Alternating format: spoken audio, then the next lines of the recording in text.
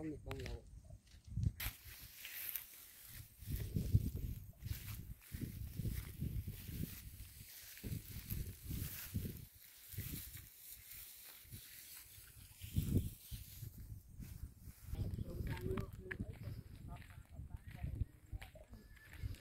bà đi gặp nông với anh bạn.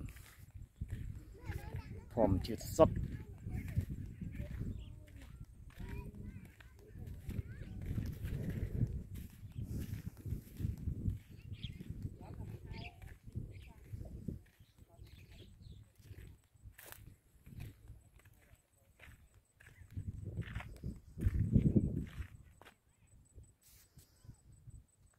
តំបន់ភ្នំវែង